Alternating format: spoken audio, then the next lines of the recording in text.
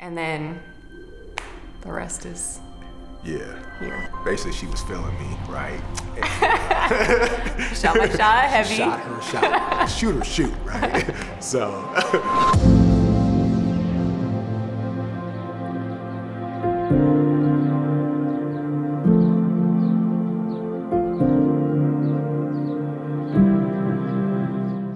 we met at church, and at this church, there was this uh, this this beautiful woman right here next to me. Um, but I was serving in the church as a uh, youth teacher. Being able to see him like in worship and just his heart and his spirit was like extremely attractive and then him was attractive. So I would just like avoid him at all cost. um, except for like those moments I could kind of sneak in when he was in Lila's class to just be like, you know, how is she doing without it being anything outside of that. So 2016, we were um, paired together to serve, and that was the first time that we actually met. I reached out via LinkedIn. so uh, he wasn't on, I couldn't find him on social media. Basically, I was being a stalker and basically reached out, told him that, you know, I was praying for him and blessing in Noah and that I hoped that they were doing well. Basically, she was feeling me, right? shot my shot, heavy. Shot her shot. shoot her shoot, right? so she shot. But it was funny because um, if I go back to my dream, the dream was about someone popped up that was not on my radar at all. And so when she reached out, it was like this person that I had no idea had reached out and said that she was praying for me and she was thinking about me. And so from that moment, we just started talking and kind of grew from there. But again, she was not living here. She was living in uh, Colorado. Colorado when I was here. We were doing long distance, right? So she would come every, like once a month. She was getting to a place where where she was living at no longer felt like home. And so she was coming back and forth and she would have to go back and it would just be like almost what, like a, a wait or something like that, you know? Which is horrible, It was yeah. horrible. my mom started asking me like, "Hey, you guys are moving in March?" And I was like, "I don't know what you're talking about." And she said, "Well, that's what Lila said. She keeps telling everyone you're moving in March."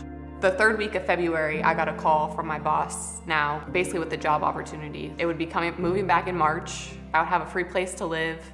And so we were able to come back. Lila obviously spoke into existence like for March. It was right when everything shut down. So he came out to like move us back and obviously being able to like move into a place that he came and like prayed over with us and it was like this full circle moment of like when we left a year and a half earlier basically to like go to the mountains to heal like god saying you're coming back like covered you know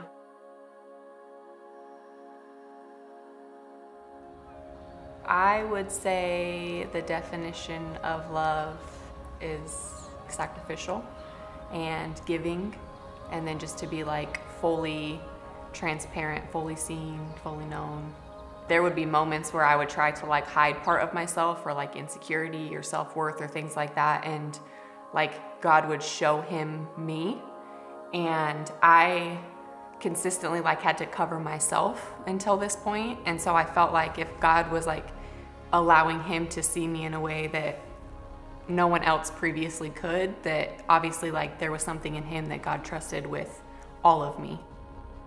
we were going through some challenges, um, some things, and I was just like, okay, God, like, is this is this where I'm supposed to leave? Like, am I supposed to get out at this point? He said one thing to me: My grace is sufficient.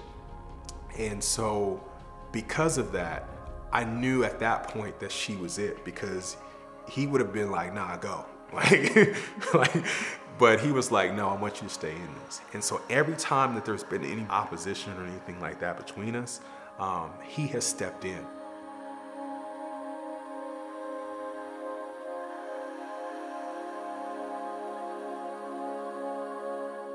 August of 2020, I was planning on proposing to her.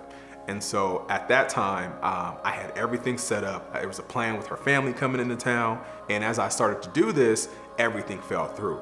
Uh, the ring wasn't gonna be ready in time. Uh, her family didn't even come in town. And so now at this point, I'm like, okay, well, I'm not about to just do it if I if it's not gonna work. So I go into prayer. I'm asking God, like, you know, why is this happening? Why is this not working? And he told me, not yet. When I said it, it was more from a place of like, there's something in me that has to like, you know, needs to to be worked on. Um, but what God revealed, it was something in both of us. In November, two checks showed up in the mail. That was everything that I needed, plus more to buy her ring. It was literally God was saying, like, because of your obedience, I am going to give you the yes that you've been, been wanting. Well, so our church was supposed to have a New Year's Eve service um, at Church for the Nations. And when they canceled it, he said he was still going to plan whatever we were going to do for New Year's Eve. He said that he needed to get this guitar for his son, which didn't make any sense to me because I was like, a guitar for what? But so we pull up, he says he's gonna run in real fast. And then he called me and was like, hey, can you come look at this? And then I was like, it's about to go down.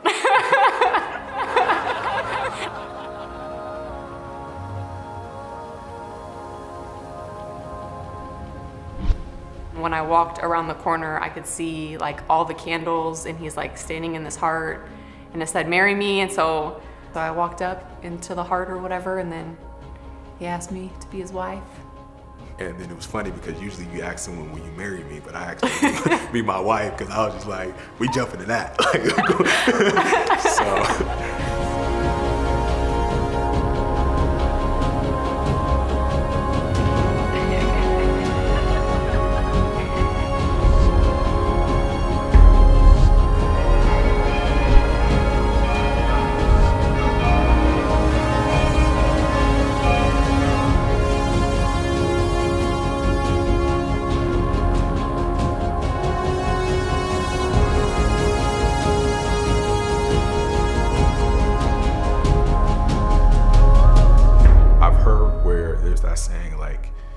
Get married to settle down. It's not settling down. It, it, it's, it's building up.